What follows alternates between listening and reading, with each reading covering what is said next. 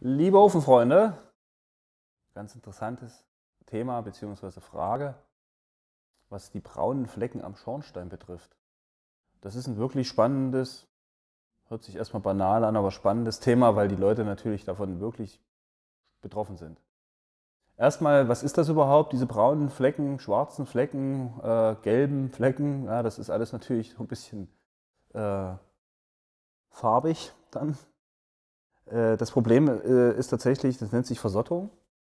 Ähm, wobei Versottung eigentlich nicht wirklich definiert ist. So, es ist also so ein, weiß gar nicht, wo dieser Begriff herkommt, aber er ist da. Äh, jeder weiß auch irgendwo, was damit gemeint ist, also verwendet man ihn. Ähm, Versottung ist äh, ein, ein Zustand, wo ein Schornstein bzw. ein Stein, sagen wir mal, gehen wir mal runter auf die Elemente, aus denen der Schornstein besteht, nämlich der Stein, ähm, keine, keine Möglichkeit mehr hat, Wasser aufzunehmen, weil er von Säure zersetzt wurde und auch kein Wasser mehr ableiten kann, weder nach innen noch nach außen, beziehungsweise äh, dann eben durch die Säuren so zersetzt wird, dass Wasser direkt durch den Stein durchdringen kann, durch Fugen durchdringen kann. Äh, und da wir alle wissen, dass das kein wirkliches Wasser ist, sondern schwarze, braune Brühe, sind das dann genau diese Erscheinungen. Und die können wandern im Wesentlichen. Äh, das heißt, es fängt meistens oben im Mündungsbereich an. Liegt daran, dass wir da natürlich meistens die, die Taupunktunterschreitung haben. Und zwar unabhängig davon, welcher Brennstoff das ist eher eine Nutzungsgeschichte, Länge des Schornsteins, Witterungsbedingungen äh, und so weiter. Und die führen dann in aller Regel dazu, dass der Schornstein äh, oben im, im, Dachbereich braune Stockflecken ansetzt äh, und dann nach unten wandern, wenn man das nicht verhindert oder unterbindet. Äh, und unterbinden kann man das eigentlich aus meiner Sicht, da gibt es jetzt unterschiedliche Wahrnehmungen oder, oder Herangehensweisen, nur wirklich sinnvoll, indem man den Schornstein saniert also ein Edelstahlrohr, ein Tonrohr oder ähnliches, Glas verwendet man nicht mehr, äh, einzieht. Dann bitte auch ohne Schüttung, auf jeden Fall, weil der Schornstein muss natürlich atmen können. Äh, das heißt, es muss natürlich auch eine gewisse Trocknung entstehen und, das sage ich auch immer zu den, zu den Schornsteinfegern, eine Dämmung um den Schornstein herum ist aus äh, eigentlich physikalischen Gründen ebenfalls kontraproduktiv weil der Schornstein ja schon keine äh, Nässe mehr wirklich aufnehmen kann und sie nach außen ableitet, hat man das Problem, dass dann die Dämmung auch ebenfalls nass wird, Schaden nimmt und eine Dämmwirkung eigentlich gar nicht vorhanden ist. Das kann man machen, eine Dämmung im Dachbereich kann man machen äh, als Prophylaxe-Maßnahme, weil dann eben die Auskühlung geringer ist. Wenn aber das Kind bereits im Brunnen gefallen ist, dann sollte man das tunlichst unter, unterlassen. Äh, das ist zumindest die Erfahrung, die ich gemacht habe. Das gilt im Übrigen auch für Dämmmaßnahmen im Schornstein, auch das gibt es, äh, die führen am Ende genau zu dem gleichen Thema, nämlich die Versottung wird in der Regel schlimmer. Was auch häufig mittlerweile aus gewissen, ich kann nur urteilen, äh, Unwissenheit, das ist nicht böse gemeint. Ähm, das ist vor allen Dingen bei der Kundschaft dann so. Äh, oder auch bei Schornsteinfegern da kann ich einen schönen Fall aus, aus Hamburg zitieren oder, oder darlegen, wo das eben auch so war, dass der Schornstein dann äh, ja, die Nässe bis in das Rauchrohr zurück in den Ofen gelaufen ist. Äh, das lag daran, dass oben eine Abdeckhaube drauf war und äh, die Abdeckhaube zwar vor Witterung schützt, aber eben nicht äh, äh, dafür geeignet ist, quasi äh, Kondenswasserbildung zu verhindern. Ganz im Gegenteil, bei vielen Systemen, bei vielen Schornsteinen entstehen da richtige Tropfsteinhöhlen. Das heißt, die Rauchgase schlagen von unten an die Haube an, die ist kalt, wird auch dauerhaft kalt bleiben da oben im Wind ähm, und sorgt dafür, dass dann eben Wasser sich bildet und in den Schornstein reintropft. Und das kann über die Dauer äh, dann auch wirklich viel Wasser werden. Und das hat man dann aber meistens in dem unteren Bereich. Ja, also das ist gar nicht mehr im oberen Drittel, äh, das ist dann schon zweites Drittel, wenn es richtig blöde läuft, auch unten im, äh, in der Sohle. Das heißt, äh, diese Erscheinung kann man dann eigentlich relativ schnell identifizieren und abstellen, indem man die Abdeckwelle, Abdeckhaube, was auch immer da oben drauf ist, entfernt. Das ist dann die einzige wirkliche Lösung und dann kann der Schornstein auch wieder austrocknen und eine Sanierung ist dann auch nicht erforderlich. Wichtig bei Versottungsschäden ist eine schnelle Reaktion, allerdings eben auch, und das äh, möchte ich jetzt an der Stelle auch nochmal erwähnen, mh, hm, Thema Pelletofen da wird die Versottung quasi unterstellt. Und die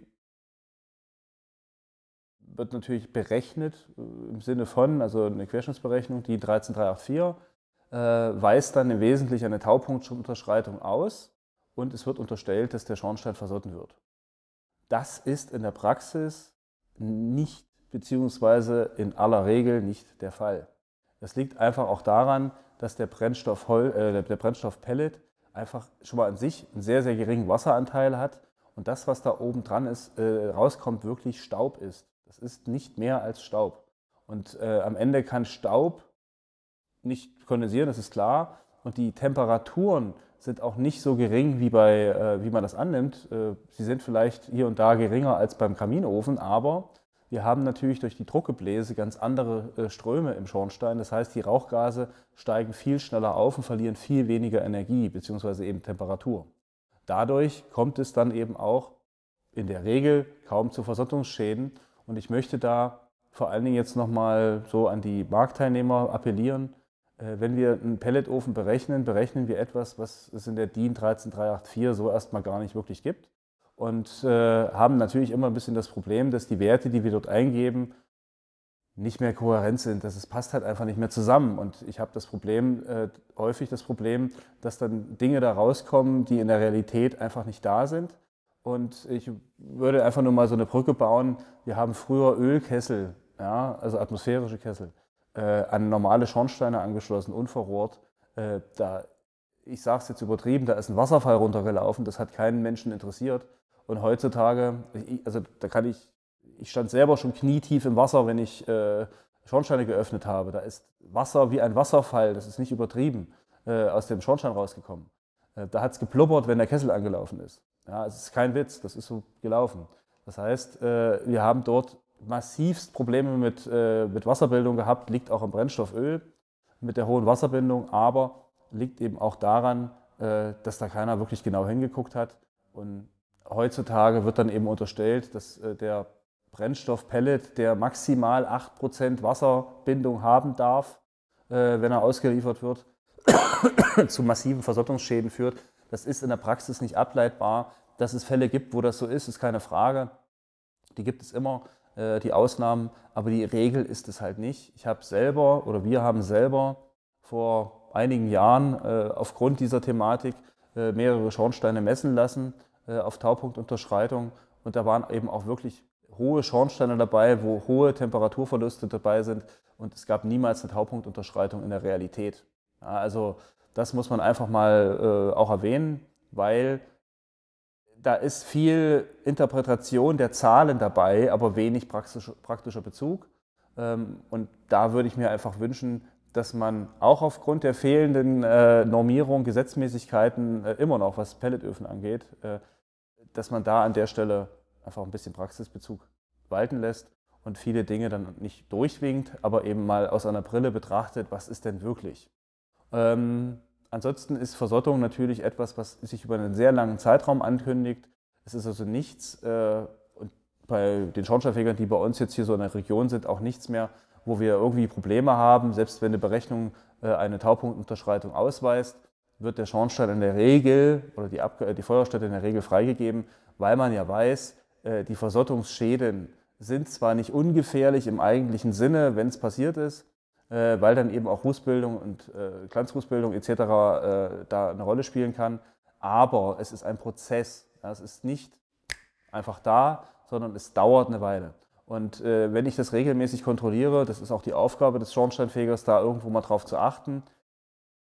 Wenn die Zeit nicht da ist, kann man auch dem Kunden sagen, ja, ich nehme dir das ab, aber du guckst jetzt bitte jedes Jahr mal in das Rohr rein, fester mal an, ob das nass ist, äh, guckst dir das mal an und dann red mal drüber. Dann ist das auch eine vernünftige Herangehensweise. Klar kann man hingehen und kann alles Mögliche verlangen, was irgendwo in irgendwelchen Büchern steht. Ähm, aber wie gesagt, äh, ich komme natürlich auch noch aus einer Zeit, äh, wir haben mit einem einfachen Ofenrohr aus der Wand haben wir äh, einen Kaminofen betrieben. Das war damals kein Problem.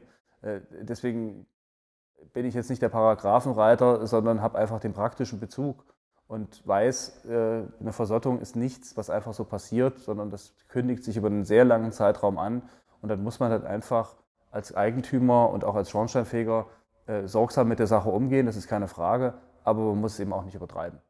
Und das ist jetzt mal so äh, die Thematik Versottung.